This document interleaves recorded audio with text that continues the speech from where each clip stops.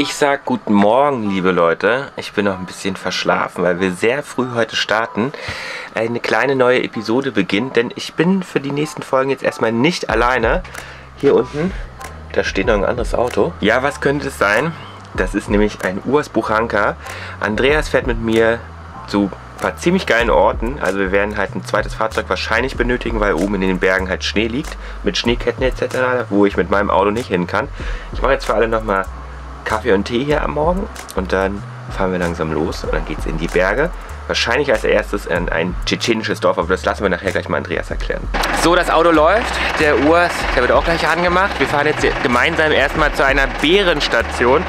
Dort werden da gefangene Bären aufgepäppelt wieder und in Freiheit entlassen. So, ich habe jetzt auch ein Mikrofon gekriegt, dass wir uns unterhalten können unterwegs. Jetzt nochmal durch die Stadt, weil morgens um 9 in Tbilisi noch nicht so viel los ist. Ansonsten würden wir nicht durch die Stadt fahren, weil es einfach ultra viel Verkehr hier. Das ist der Wahnsinn. Aber braucht man nicht, gar kein Problem. Wir können jetzt einfach unten lang fahren. Wer also in Tiflis unterwegs sein möchte, muss das früh morgens tun, sehr spät abends oder mittags. Wir fahren jetzt raus aus der Stadt. Es ging jetzt zügig über die Pisten Georgiens. Angekommen. Und wer bist du? Andreas, grüß euch.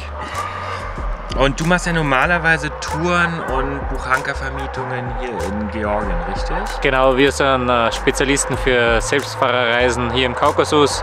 Wir kennen auch den Nordkaukasus sehr gut, aber wir sind jetzt in Georgien und wir vermieten Uas Buchankas für alle Leute, die gerne Georgien abseits der ausgetretenen Pfade kennenlernen. Falls ihr in Uas Buchanka euch mieten wollt mit einer schönen Tour, dann verlinke ich euch das einfach einmal unten. Wir werden jetzt Tiere füttern.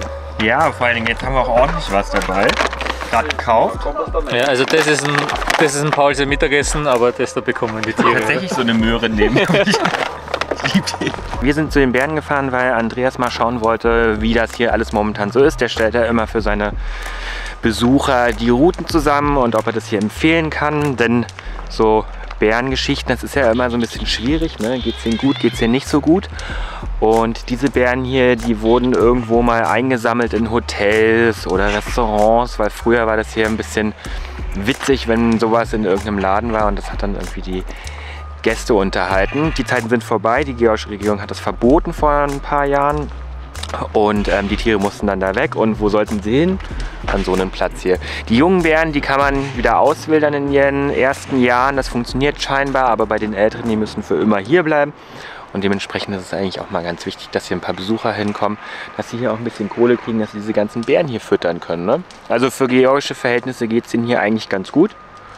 Ähm, auch wenn es natürlich immer schade ist zu sehen, dass so eine wilden und großen Tiere irgendwo hinter Gittern sind. Also sie versuchen hier echt ihr Bestes, dass sie die wieder auswildern können. Aber für die alten Bären, sie werden ihr Leben lang hier bleiben. Hier sind jetzt die Bären. Kriegen die auch was davon? Ja, freilich. Was, hä? Es wird brüderlich geteilt. Ich habe nämlich auch eine Möhre. Opa. Also gerade Fütterungszeit. Da sind wir natürlich mit unserem Gemüse auf verlorenem Posten. Welcher von euch ist denn der Zirkusbär, der klatschen kann? Du? Der aufsteht und Fundstücke macht, aber den, ich weiß nicht, entweder da oder da. Ich glaube, ich glaub, es ist einer von denen da. Noch ein, schau, da komm her. Jupp. Und da. Ja. Ihr seid die gesundheitsbewussten Bären, gell? Jeden Fall nicht schaden. Aber du hast ja gerade dein Fleisch gekriegt. Oh. Da oben kann man sich auch noch mal in seinen Airbnb einmieten, dass man hier morgens immer die Bären sehen kann und füttern kann. Mich würden die Hunde da drüben ein bisschen stören, weil die werden wahrscheinlich die ganze Nacht bellen. Aber wie ich in der Vergangenheit gelernt habe, die Georger, die stört es ja nicht so richtig. Also immer wenn wir irgendwo bei anderen Leuten waren, die, die Hunde gebellt haben, das hat die immer gar nicht genervt. Ich kann da nachts kein Auge zumachen bei sowas. So, die erste Station mit den Bären und Wölfen, die haben wir jetzt abgehakt. Jetzt geht's weiter zum tschetschenischen Dorf. Andreas hat da gerade schon angerufen. Bevor wir jetzt weiterfahren ins Pankisi-Tal zu den Tschetschenen, möchte ich euch noch mal auf eine kleine Sache hinweisen und da kommen wir zu unserem Partner des heutigen Videos. Ich bin ja auch mit Andreas unterwegs, weil wenn wir dorthin fahren, die Leute ja Tschetschenisch sprechen, vielleicht auch Georgisch, aber viele von den Menschen hier, die sprechen auch Russisch und Russisch ist eine Sprache, die kann ich schon, sagen wir Tschut-Tschut, also ein klein bisschen, aber noch nicht sehr gut, um wirklich dann mit der Kultur in Kontakt zu kommen, ist es einfach wichtig, dass man die Sprache spricht. Ich habe mir jetzt auf jeden Fall in den Kopf gesetzt, besser Russisch zu lernen und dafür werde ich in Zukunft Rosetta Stone benutzen. Das ist eine App, mit der man Sprachen lernen kann und die nutzt eine sehr interessante Vorgehensweise. Im Gegensatz zu anderen Apps lernt man bei Rosetta Stone keine Vokabeln, sondern man macht es wie im echten Leben. Man sieht ein Bild, hört die Aussprache, sieht die russische Übersetzung davon und lernt auf diese Art und Weise. So, jetzt testen wir das einmal ganz kurz aus in der App. Die Lektionen sind relativ kurz und lassen sich gut in den Alltag integrieren und jetzt testen wir das einmal ganz kurz. Она читает. Anna читает. Wahrscheinlich liest. Und am Anfang dachte ich dann, das ist es jetzt. So auf diese Art und Weise lernt man. Aber dann irgendwann macht es halt Klick und man versteht, ja klar, visuell zu lernen ist für mich halt natürlich viel besser. Also kann ich mit der App von Rosetta Stone ganz intuitiv meine Sprache lernen und ich kann die Sachen zusammenhängend verstehen und mit der Zeit versteht man dann wirklich, was die Leute sagen. Es gibt jetzt momentan ein mega Angebot von Rosetta Stone und zwar den Lifetime Access. Wenn du über meinen Link unten in der Videobeschreibung bei Rosetta Stone dein Lifetime Access mit allen Sprachen, die sie haben, bestellst, kannst du bis zu 50% sparen. Falls euch das Angebot von Rosetta Stone nicht gefällt, könnt ihr 30 Tage lang euer Geld zurückbekommen und das ist dann alles in dem Falle risikolos. Wir machen jetzt weiter mit unserer Reise. Ich wünschte, ich hätte Rosetta Stone schon ein bisschen früher gefunden, weil dann würde ich jetzt wahrscheinlich besseres Russisch sprechen und könnte tiefer in die Kultur eintauchen. Wir fahren jetzt auf jeden Fall erstmal hier 60 Kilometer durch die Berge. Das wird jetzt bestimmt zwei Stunden dauern, weil es sehr, sehr kurvig ist. Mit meinem Auto dauert es ja sowieso immer ein bisschen. Wir haben hier einen georgischen Stau im Moment. So kann das laufen.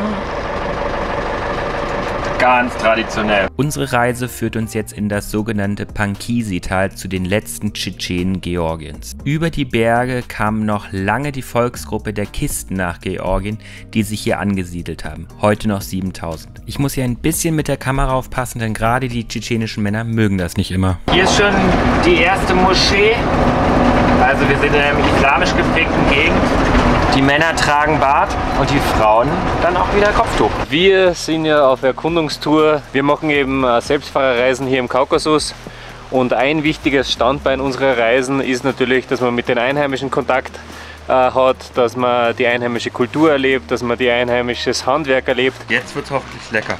So, wir sind jetzt hier bei einer tschetschenischen Familie zu Hause eingeladen. Und jetzt gibt es tschetschenisches Essen. Gehen wir mal rein. Und da gehen wir jetzt was Feines zu essen. Die spricht nur Russisch, deswegen müssen wir gucken. Also ich verstehe ein bisschen Russisch. Ähm, Andreas versteht ja sowieso fließend Russisch. Und dann gucken wir uns das mal an, was wir da jetzt gleich kriegen, was Leckeres. Schuhe aus, wenn man ins Haus geht. Also wir machen jetzt den Teig. Da braucht man kräftige Hände, den hat es mir anvertraut, hat es gemeint. Und es ist der gleiche Teig für die äh, tschetschenische Spezialität und für die Chinkali. Also Donato hat mir ein bisschen erzählt über ihre, über ihre Familiengeschichte. Ähm, dieses, dieses Tal, wo wir sind, wird eben schon seit zwei Jahrhunderten, über zwei Jahrhunderten von äh, Tschetschenen bewohnt. Aber ihre Familie ist erst mit Ausbruch der Tschetschenienkriege über die Grenze gekommen. Sie hat dann hierher geheiratet und jetzt ist die ganze Familie hier im Tal. Und äh, sie hat zuerst gesagt, dass eben die Tschetschenen, egal wo sie halt hinkommen, ins Ausland und hin und her, äh, trotzdem halt im Sommer zurückkommen und auch innerhalb von ihrer Volksgruppe normalerweise heiraten. Mhm. Dass eben die Traditionen am Leben erhalten werden, die Sprache. Das ist jetzt lecker Brennnessel, ne? Mhm. Brennt aber gar nicht. In Georgien ist das Nationalgericht Chingali. Die gibt es hier bei den Tschetschenen auch, nur mit ein bisschen anderer Füllung. Türkische? Da, da, also das. Fest andrücken. Fest. Okay. ich muss neu probieren. Ich wusste gar nicht, dass es so kompliziert ist. Zweiter Versuch. So, dann den dritten. Tadel los. Wird schon besser. Ich will es mal so hinkriegen wie hier. Ха, он Aber очень кстати. красиво делает. Масло. И руками кушать. Und Kali isst man mit den Händen. Nach einer vollwertigen Mahlzeit geht's gleich zum nächsten Gericht über. Das sind Hinkadi, ja? Und das sind Как они, как называется блюдо? Что? Этот блюдо. А, джиджик гальниш. Джиджик Gigi гальниш. Garnish. И это означает что-нибудь? Джиджик это мясо, гальниш это вот эти штуки. Das ist schon die Nachspeise oder die zweite? Das ist die Zweite Hauptspeise. Gang. Die Hauptspeise. Das müsste jetzt aber auch sein Rind wahrscheinlich, oder? Ja, genau. Schwein wirst du hier nicht finden. Also man tunkt es in die Soße. Ist auch schon wieder so eine Riesenportion. So, ich bin offiziell schon richtig satt. Aber jetzt gibt es noch eine Nachspeise. Eine Füllung aus Kürbis mit Honig. Kürbis mit Honig. Gefüllte große Teigtasche mit Butter überstrichen. So, wir haben gerade gelernt, das ist Rabak. Rabak. Cevilisch. Wir haben jetzt auf jeden Fall fürstlich gespeist. Ich bin schon am Tisch schon fast eingeschlafen. äh, wir saßen dann noch ein ganz bisschen. Und jetzt haben wir gerade noch gefragt, ob wir ein bisschen Holz kriegen können. Trockenes Holz, ja. Trockenes Holz, genau, es regnet ja draußen. Und ähm, die Batterien sind bei mir fast alle. Also die Nacht wird schon schwierig. Und es ist einfach scheiß Wetter, dass man heute Abend mal einen Ofen anmachen kann. Ist das schwer? Oh, da ist schon ein bisschen was drin. Also, Wir haben super Zunder bekommen, den werden wir testen. Ich bin selber gespannt, ich habe noch nie mit Maiskolben eingeheizt. nee, ich auch nicht. Aber wir werden es rausfinden. Mal gucken, wie lange das brennt vor allen Dingen. So, wir sind jetzt raus aus dem Haus und suchen uns jetzt gerade einen Stellplatz. Wird nämlich langsam dunkel und überlegen, ob wir da hochfahren. Aber es ist verdammt steil. Es ist sehr, sehr steil und es regnet natürlich auch zusätzlich. Und heute Nacht soll es noch mehr regnen. Ähm, jetzt gucken wir mal ganz kurz. Alle mit dem Uhr, jetzt fährt er mal vor und dann guckt er mal oben, ob wir da überhaupt stehen können. Der Profi lässt natürlich äh, Luft aus den Reifen. Ja, aber wir. Aber nur, weil wir vermutlich morgen noch mal auf die Berge aufgefahren. Ja. Fahrt sich einfach viel besser mit weniger Luft. Kleiner Urs. Go, go, go.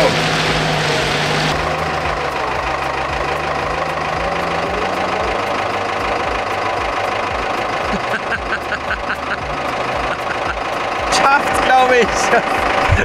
Das sieht man nicht auf der Kamera, aber der kämpft und kämpft und kämpft da oben. Mal gucken, ob er es schafft. Auf dem frühen Abend noch so ein kleines Abenteuer. Jetzt haben wir ein bisschen Luft abgelassen, aber es ist auch wirklich sehr, sehr rutschig hier. Also ich versuche mal mit der Kamera nachzustellen, wie steil das ist, so dass das für euch quasi den gleichen Effekt hat. Also ungefähr so. Und jetzt dabei natürlich so viel, so viel Schlamm, der hier ist.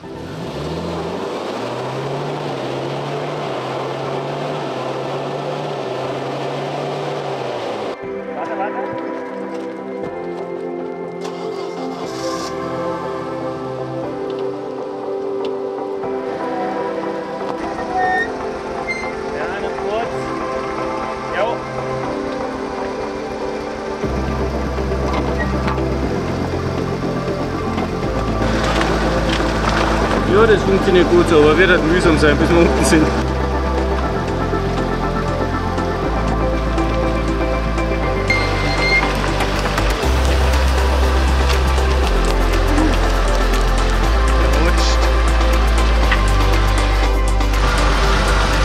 Okay. Ja. ja. Dann rutscht wieder rein. Aber das passt so eigentlich gerade. Ja, Weil hier wird es jetzt weniger schlammig. Du Ja. schiebst eher den Schlamm selber runter. ja schau nur, dass in der Spur drin bleibt. Genau, genau.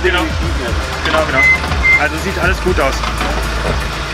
War jetzt leider schon dunkel, ich bin völlig durchnässt, die Kamera ist saudreckig und ich musste dann leider die Kamera zur Seite legen. Tut mir leid, dass ich das nicht mit euch zusammen machen konnte. Man sieht hier noch ein paar Endspuren hier vorne. Der Buchanker ist runtergerutscht wie Sau, aber wir haben es geschafft. So als kleine Aufheiterung nach der Aktion haben wir jetzt den Ofen angeschmissen. Ein bisschen nasses Holz hier draufgelegt zum Trocknen und zum Anfeuern. Das, was wir hier gerade von unseren tschetschenischen Freunden geschenkt gekriegt haben. Aber so richtig geil brennen tun die bisher noch nicht. Wir haben jetzt mal richtig voll gehauen. Gucken, was passiert. Wir haben uns jetzt mal hier in das tschetschenische Dorf gestellt. Ähm, was Andreas jetzt momentan machen muss, der muss erstmal an seinem Buchanker ein bisschen rumbauen. Das ist ja der klassische Weg, den man da so geht, wenn man so ein Fahrzeug hat, dass man da immer mal was machen dran muss. Und genau das passiert jetzt auch gerade. Buchankerfahrer ist gut ausgestattet mit Werkzeug, weil er kann es manchmal gebrauchen. Wir brauchen aber nur ein ausgebranntes Birndlwechsel. Ja, ist ja ein neues Fahrzeug, da gibt es so kleine Aber, Probleme. aber, aber kommt mal her, ja. Also alle, die für eine ausgebrannte Birne in die Werkstatt fahren müssen, Buchanker 1, 2, 3 Schrauben und fertig. Ja, da reicht ein normaler Philips-Schraubenzieher. Das wird das Problem sicherlich gleich wieder beheben. Ach ja, siehst du. Die ist kaputt. Leuchtet wieder, wieder eins. Super. Repariert.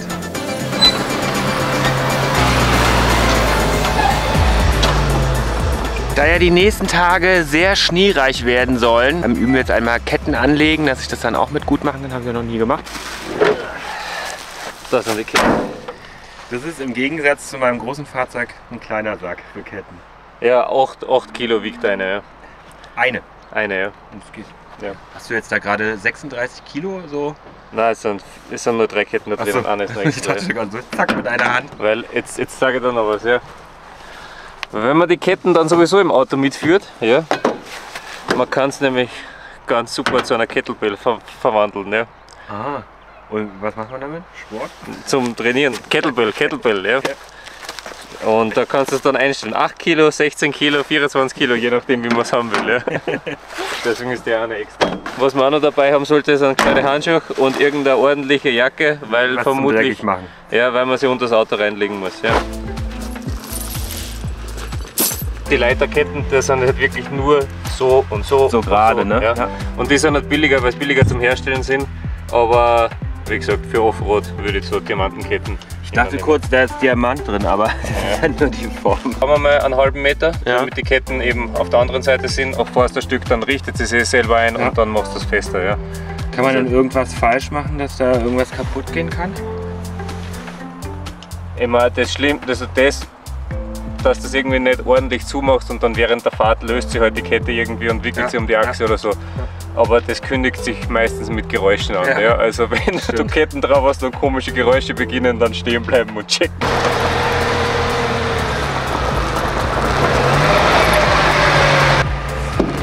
Hast du das? Was? Ja, das gibt es bei deinem Auto auch nicht. Das ist bei den neuen OAs der Absorber. Das ist da, wo die Gasdämpfe dann wieder zurückgeführt werden in den Körper. Das ist ein Magnetventil. Das macht auf und zu. So laut. Ja. Der große Vorteil gegenüber halt einem normalen Straßenprofil ist halt, dass du diese riesigen freien, freien Flächen hast, wo sich nichts festsetzt. Ja. Ja. Ich habe auf, auf allen Autos All-Terrain-Reifen drauf ja? und mit denen kann ich eigentlich 95% der Strecken fahren. Und wenn ich weiß, dass es schlammig, Schnee oder sonst irgendwas ist, dann lege ich mir die Ketten ins Auto und mit denen kann ich dann die letzten 5% meistens fahren. Ja. Also das ist halt meine Philosophie, weil halt, wie gesagt, 95% der Straßen und Schotterwege und Feldwege und alles, auch bei trockenen Bedingungen, passt super mit den Reifen. So, während der Paul die Ketten wieder runternimmt, einen Tipp noch, ja. Normalerweise, wenn du im Schlamm unterwegs warst und du nimmst dann die Ketten runter, dann sind die Ketten voll mit Schlamm. Ja? Und dann ist die Frage, wohin damit? Also wenn du dir vorher schon irgendein, irgendein Gefäß überlegst, wo du das reinschmeißen kannst, bis du zum nächsten Bach kommst, dann ist das sehr schlau. Im Notfall kann man es natürlich beim Beifahrer zu den Füßen einfach hinschmeißen, aber dann ist der Beifahrer meistens nicht so glücklich. Und wir fahren jetzt da drüben oben in die Berge rein. Man sieht es von hier vielleicht ein bisschen schlecht. Aber damit machen wir in der nächsten Folge weiter. Das war jetzt, glaube ich, genug Abenteuer für eine Episode. Und nächste Woche geht es dann wieder richtig schön zum Offroaden. Damit machen wir dann weiter. Also, Like nicht vergessen, Abo da lassen und einen Kommentar schreiben. All diese wichtigen Dinge für mich, damit wir hier weiterhin kostenlos zur Verfügung stellen können. Und wir sehen uns dann in einigen Tagen wieder. Tschüss!